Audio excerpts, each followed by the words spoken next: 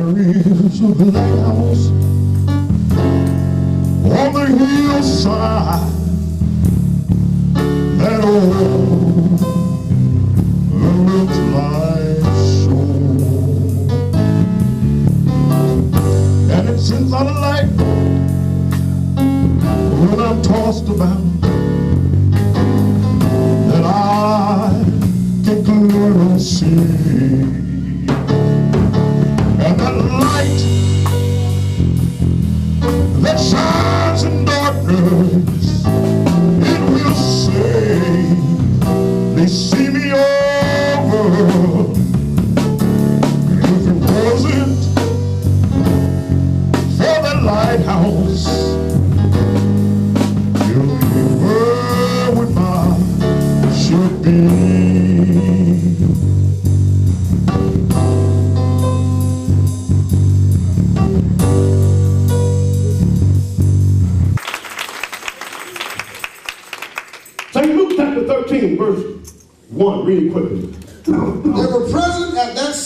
some that told him of the Galileans, whose blood Pilate had mingled with their sacrifices.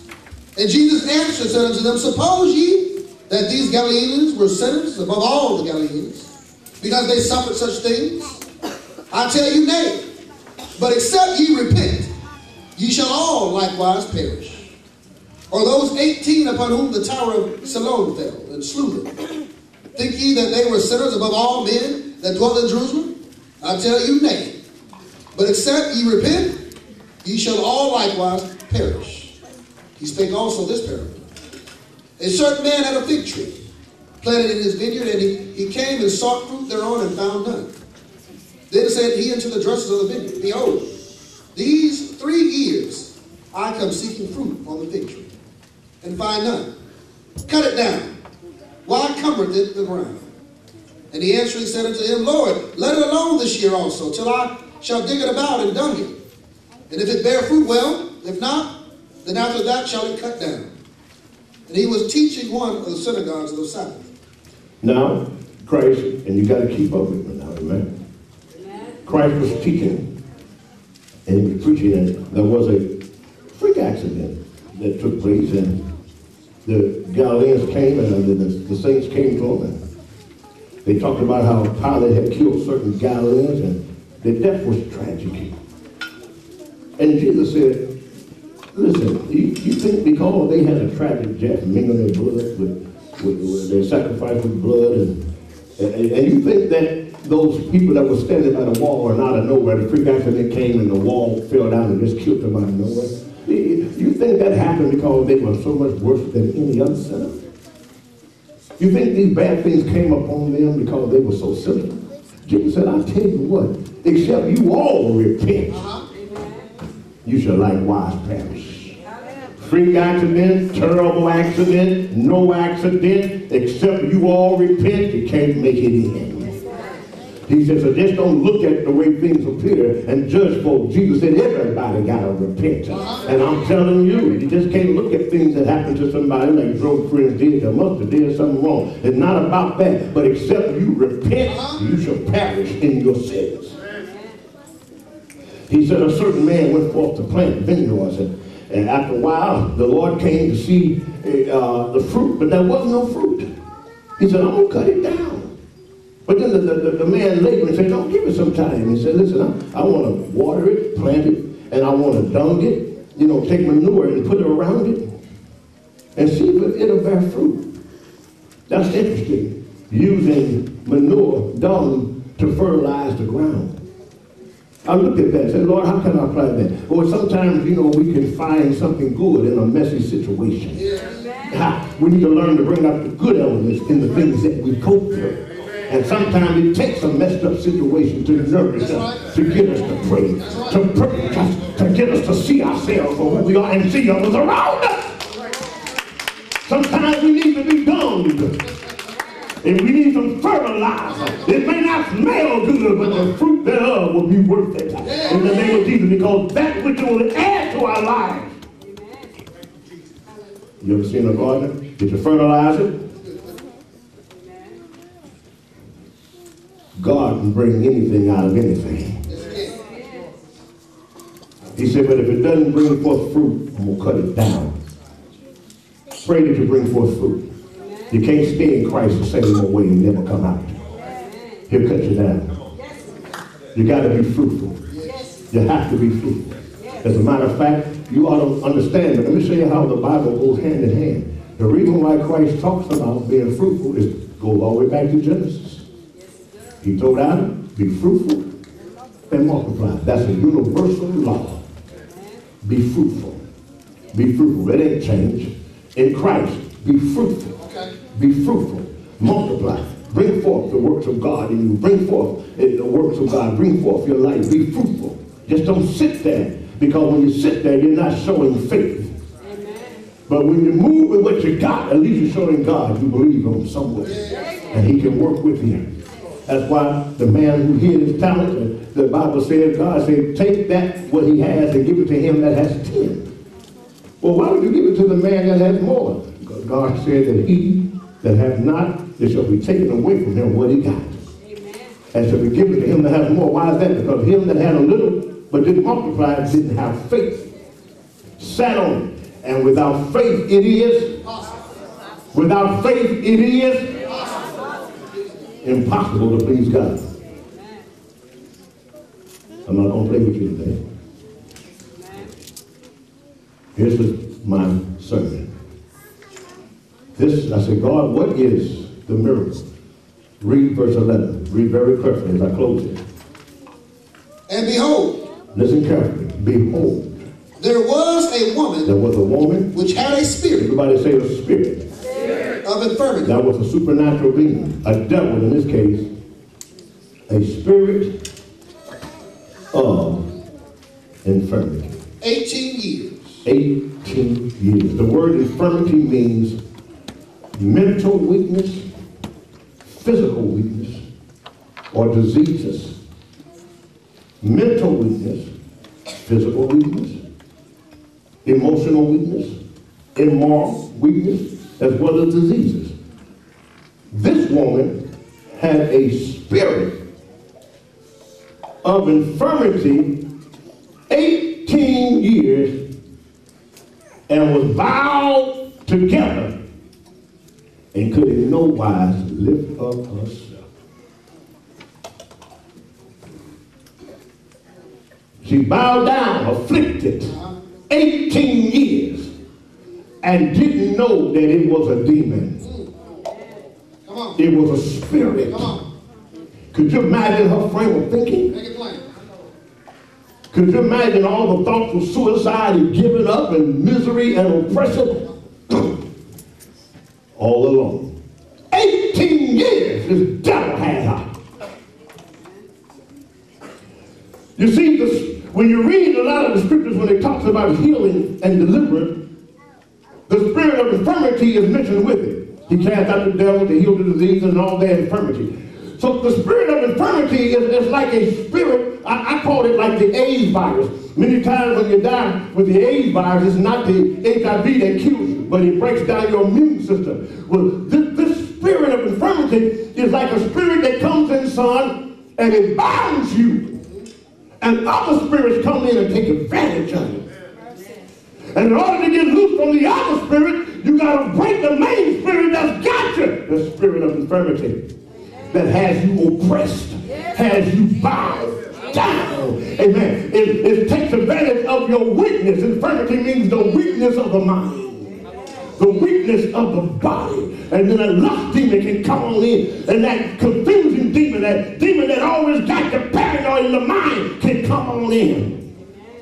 Because the spirit of infirmity been walking with you all these years. And you didn't know it. And he causes these other demons to come in. Read verse 12. And when Jesus saw her, he called her to him Woman, and said unto her, Woman, thou art loosed from thine infirmity. Yes, Lord. woman, you are loose from that devil. That word loose, give you some, what's the word, teacher, synonyms? Is that right? Woman, thou art free. Woman, thou art relieved. Woman, thou art released. Woman, this spirit is dismissed. Woman, that spirit has to depart. Woman, you are forgiven. I like this one. Woman, you are divorced from that spirit. Jesus. Hallelujah, hallelujah. Ah! Hallelujah, hallelujah, Lord God. Lord have mercy. That demon heard the word of the Lord. And as he began to rise up off that woman, she began to raise herself up. Hallelujah. And what did he do, preacher? And he laid his hands on her. And immediately she was made straight Immediately and glorified God. and glorified God. Quickly, Matthew chapter 8.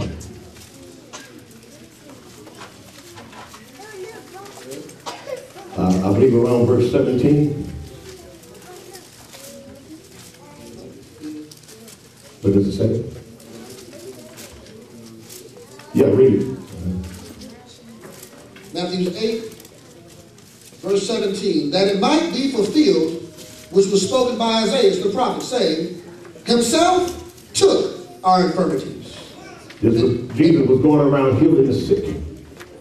And it said that it might be fulfilled, spoken by the prophet, that Jesus himself took our infirmities. and bear our sicknesses. He bare our sicknesses. He took upon the demons that oppress us.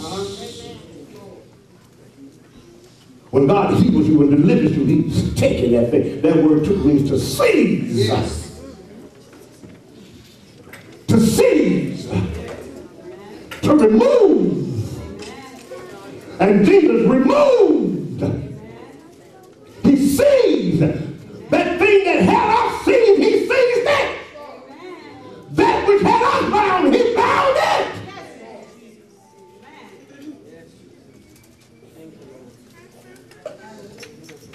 Hebrews chapter 4.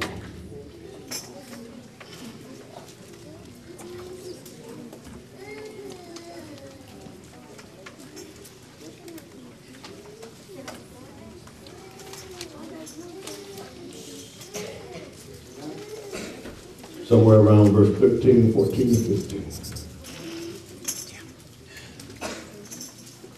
Hebrews chapter 4, verse 12. For the word of God is quick and powerful and sharper than any two-edged sword, piercing even to the dividing asunder of soul and spirit, and of the joints and marrow, and is a discerner of the thoughts and intents of the heart. Neither is there any creature that is not manifest in his sight, but all things are naked and open unto the eyes of him of whom we have to do. Seeing then that we have a great high priest that is passed into the heavens, Jesus, the Son of God, let us hold fast our profession. For we have not a high priest which cannot be touched with the feeling of our infirmities, but was in all points tempted, like as we are, yet without sin. Read that again. We have For we have not a high priest which cannot be touched with the feeling of our infirmities, but was in all points tempted, like as we are, yet without sin. we have a high priest. Yes. Speaking of Christ. Who has been touched. Uh-huh. Which cannot be touched. Read it again. For we have not a high priest which cannot be touched with the feeling of our infirmities. What that means is that he can feel it. It ain't that he can't be touched by him. He, he, he's felt them. He, he's been touched by them. In other words, he's felt the demons. They know him. He would go preaching and people with unclean spirit, they say, we know who you are. Your peace. He's felt your infirmities and your temptations and your sicknesses. And yet, everything you've gone through, He felt it and yet without sin. He overcame it for us. He overcame it for us. And by his stripes, the Old Testament said, you were healed. And the New Testament said, by your stripes, you are healed. He understands, he can feel, he knows. This is why Romans 8 and 26 says this. Are you ready?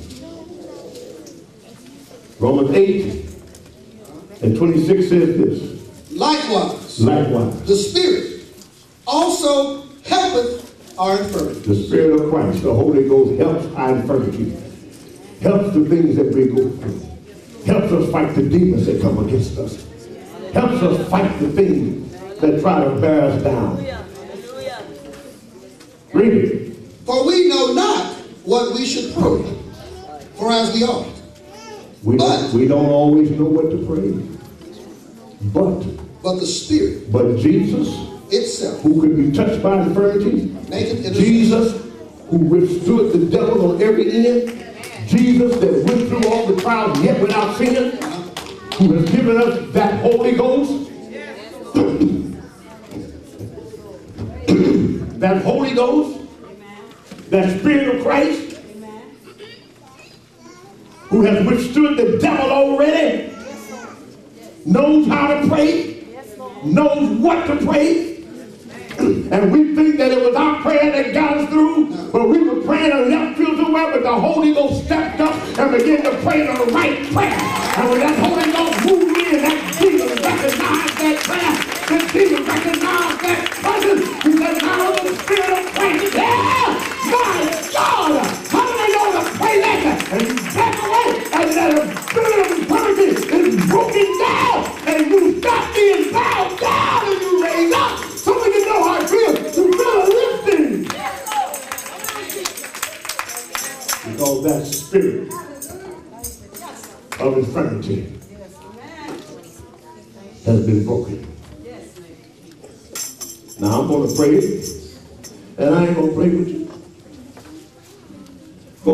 Luke.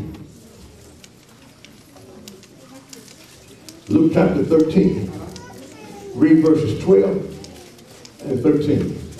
And when Jesus saw her, he called her to him and said unto her, Woman, thou art loosed from thine infirmity. And he laid his hands on her, and immediately, Read it again. And he, and he laid his hands on her, and and immediately, read that again. and he laid his hands on her, and immediately, Anybody need an immediate touch? come on, ah! Anybody need an immediate touch? Now this spirit of infirmity not only affects your body, but it affects your mind, your strength. It brings weakness. Yes, Lord. But today, Yes, Lord. The Lord has come to break it, to loose it, to relieve you from it, to dismiss it. Get your divorce papers ready. Because you got to separate from this demon. Church say, praise the Lord. All that stuff coming to burn you down, anxiety, worries, burdens, you think it is your mind. Now, for 18 years, this devil has walked with this woman. Now it's time for a miracle. I'm only going to do just what the Bible said. I'm only going to say,